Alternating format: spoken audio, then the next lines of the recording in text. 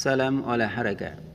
Sahabat Jurnal Sport, Taufik Hidayat adalah mantan pemain bulu tangkis tunggal putra Indonesia.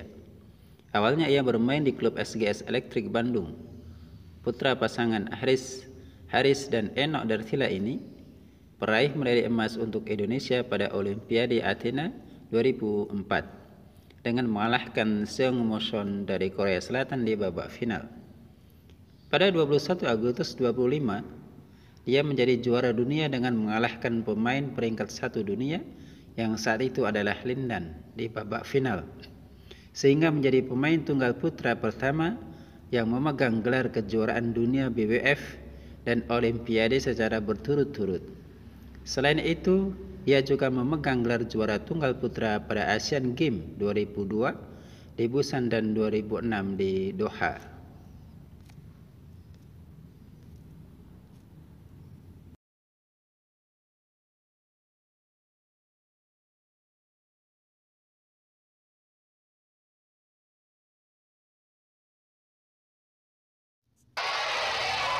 Taufik Hidayat adalah pemain tunggal putra Indonesia yang banyak memperoleh medali pada masa jayanya.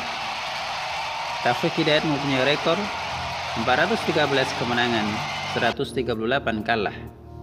Taufik Hidayat pernah menduduki peringkat satu dunia pada tanggal 24 Agustus tahun 2000 dan Taufik Hidayat merupakan satu-satunya pemain yang memenangkan Olimpiade Athena 2004 dan menjadi juara dunia tahun berikutnya. Berikut rangkaian keikutsertaan Taufik Hidayat di kejuaraan dunia.